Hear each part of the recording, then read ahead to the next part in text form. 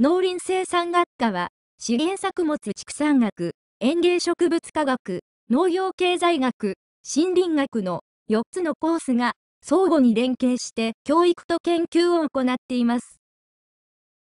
そのため、農林生産学全般を広く学びつつ、各コースの専門的な知識、技術を習得することができます。ここからは資源作物畜産学コースについて説明します。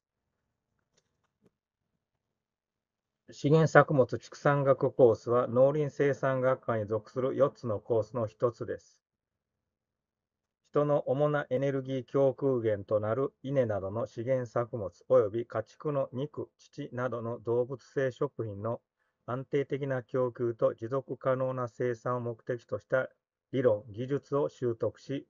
作物、動物の生産に特化した専門的な知識と理解を深め、それらに関する応用力を養うとともに、地域の農畜産物の生産の現場に合わせた食料生産工場を視野に入れた講義、実習、実験を行っています。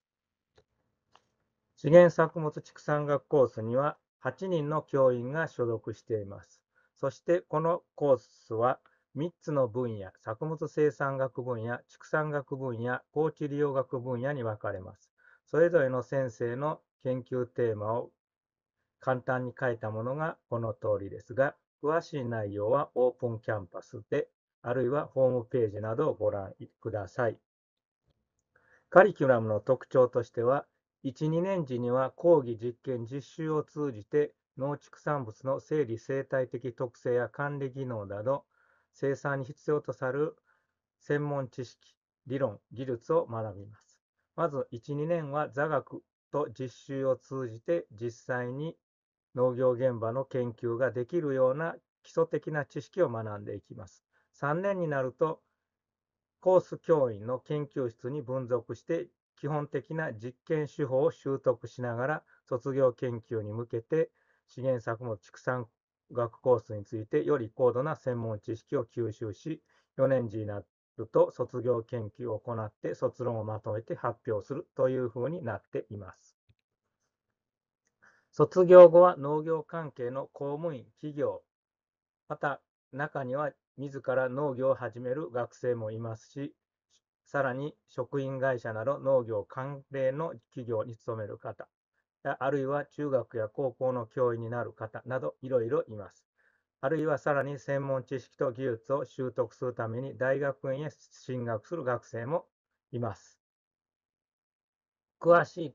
内容については、島大資源作物畜産学コースで検索してください。園芸植物科学コースについて紹介を行います。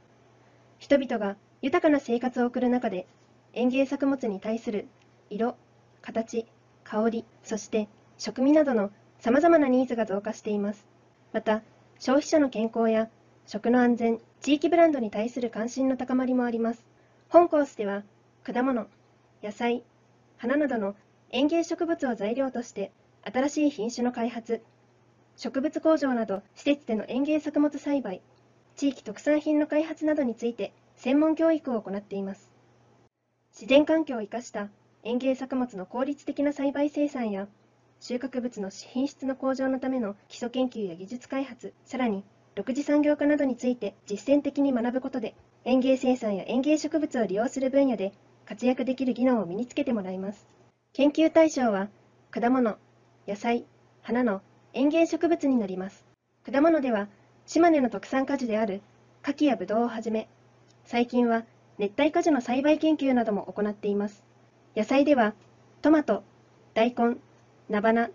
エゴマなどを対象に、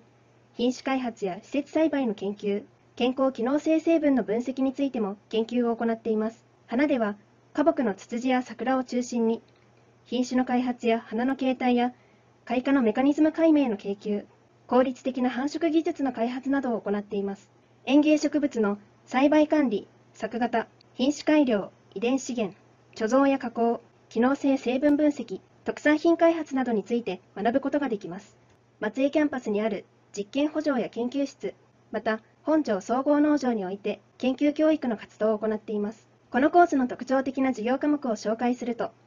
必ず習得する専門科目として、野菜園芸学、果樹園芸学、果樹園芸学があります。また、品種改良について学ぶ植物育種学や園芸植物のバイオテクノロジーについて学ぶ授業や機能性成分について学ぶ授業もあります。特産品開発や6次産業化について学ぶ授業も用意しています。もちろん、本庄総合農場での園芸植物の栽培に関する実習もあります。これら以外にも、生物資源科学部で開講されている様々な専門授業を履修することができます。園芸植物科学コースでは、3年次4月から研究室に所属して研究活動や少人数でのゼミを行います。研究テーマをそれぞれに設定して、3年次は特別研究、4年次は卒業研究として研究に取り組みます。この2年間の研究室での研究活動は、大学を卒業するために全員が必ず行うものです。大学卒業後の進路としては、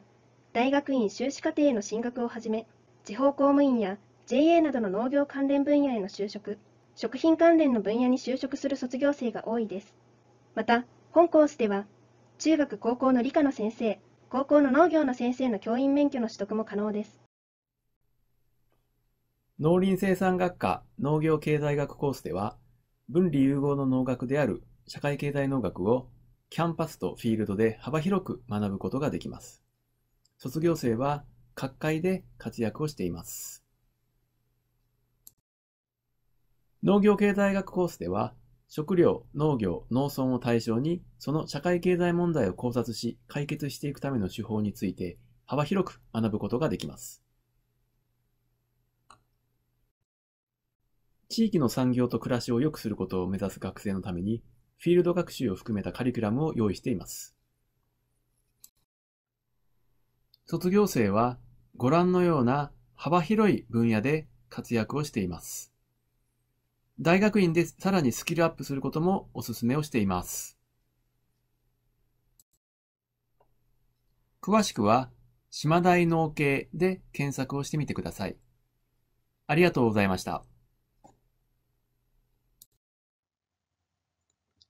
オープンキャンパスご参加の皆さん、こんにちは。高橋恵里奈です。私から森林学コースの紹介をします。私たちの暮らしに欠かせない森林林業の教育と研究を行うのが森林学コースということになります。私、高橋は森林の育成や計画、吉村先生が森林の利用や林業機械、米先生が森林を管理するための地理情報システムやリモートセンシングを担当しています。詳しくは島根大学森林学コースのホームページをご覧ください。森林を管理するためには、3名の教員が担当する分野以外にも、様々な知識が必要になります。森林学コースでは、環境共生学科の先生方の講義も受講してもらうことによって、幅広く様々な視点から森林を捉えられるようになってもらうことを狙ったカリキュラムを組んでいます。森林はたくさんの機能を持っており、私たちを取り巻く環境そのものでもあります。ぜひ私たちとその森林との関係を研究してみませんか？